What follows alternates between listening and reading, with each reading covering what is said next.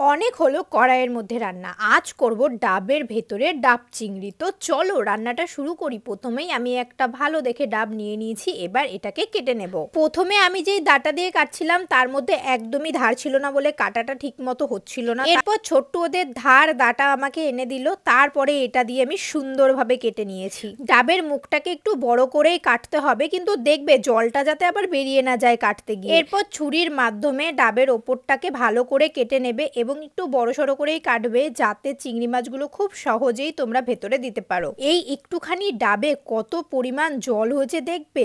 আমি তো প্রথমবার জলটা ঢালতে গিয়ে অনেকটা জল ফেলেও দিয়েছিলাম। তারপরেও দেখো কতটা জল হয়েছে, কিন্তু ডাবের ভেতরে কিন্তু এক ফোঁটাও নারকেল হয়নি। একদম হালকা একটা শ্বাস হয়েছিল, সেটাকেই আমি ডাব চিংড়িতে ইউজ করেছি। আর এই জলটাকে সাইডে রেখে কি কি মশলা লাগবে চলো তোমাদের দেখিয়ে দিই। আমি এখানে একদম ঘরোয়া ভাবে বাড়িতে যেগুলো থাকে সেগুলো দিয়েই করছি। এখানে চালমগজ দিয়েছি, কাজু বাদাম দিয়েছি, তোমরা চাইলে চালমগজটা স্কিপ করতে পারো। তারপরে পোস্ত দেব, লঙ্কা দেব, আর দেব সাদা সর্ষে। রূপসা দত্ত বলে একটা বোন বলেছে, হ্যালো দিদি, কেমন আছো? আমি খুব ভালো আছি, রূপসা।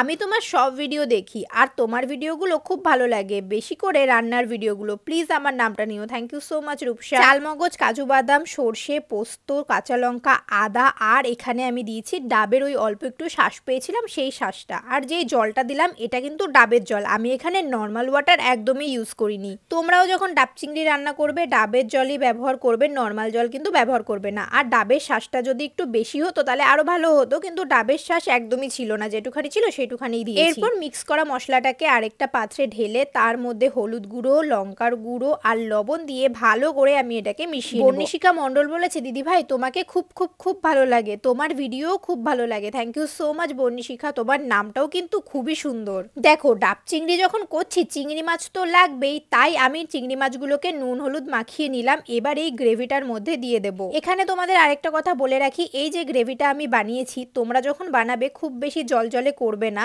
এটাকে কিন্তু যত কম পরিমাণ জল দিয়ে মিক্স করতে পারবে, তত ভালো। কারণ যখন তুমি ডাবের ভেতরে এই গ্রেভিটাকে দেবে এবং সেটার মধ্যে রান্না হবে, তখন নিজে নিজেই জল ছাড়বে। তাহলে বেশি জল দিয়ে দিলে একদম জল জলে হয়ে যাবে। আমি জানি না কতটা ভালো করে আমি তোমাদের বোঝাতে পেরেছি, কিন্তু এটা মনে রাখবে গ্রেভি করার সময় বেশি জল দেবে না। চিংড়ি মাছগুলোকে তো গ্রেভির সাথে মিক্স করেছি আর ওপর দিয়ে দিয়ে দিয়েছি অনেকটা পরিমাণ সরিষার তেল আর এটা দেওয়াতে কিন্তু একদমই কিপটেমি করলে চলবে না। আর দিয়েছি অল্প একটুখানি চিনি যাতে স্বাদটা একটু ব্যালেন্স হয়। এবার চলো ডাবের ভেতরে চিংড়ি মাছগুলোকে ভরে নিই। গলদা চিংড়ি আনলে ভালো হতো, কিন্তু আমি এই ছোট ছোট চিংড়িগুলো দিয়েই করলাম। চিংড়িগুলোর সাইজ কিন্তু খুব একটা ছোট না, যথেষ্ট বড়। চিংড়ি মাছে আমার অ্যালার্জি থাকলেও চিংড়ি মাছ খেতে আমার মোটামুটি ভালোই লাগে, কিন্তু ওই অ্যালার্জির কারণে খেতে পারি না। আজকে ডাব চিংড়ি করেও জানো তো আমি খেতে পারিনি। সমস্ত চিংড়ি মাছ আর গ্রেভিটাকে ঢেলে দেওয়ার পর এটার ভেতরে আমি আবারও সর্ষের তেল দিয়ে দিলাম আর একটা কাঁচা লঙ্কা দিয়ে দিলাম আস্ত। আগে থেকেই আটাটা আমি মেখে রেখেছিলাম যাতে পরে আমাকে ঝামেলার মধ্যে না পড়তে হয়। তারপরে দেখো আমি ভালো করে মুখটাকে বন্ধ করে দিলাম আটা দিয়ে, এবার আমি এটাকে উনুনে বসিয়ে দেবো। এটা রান্না করতে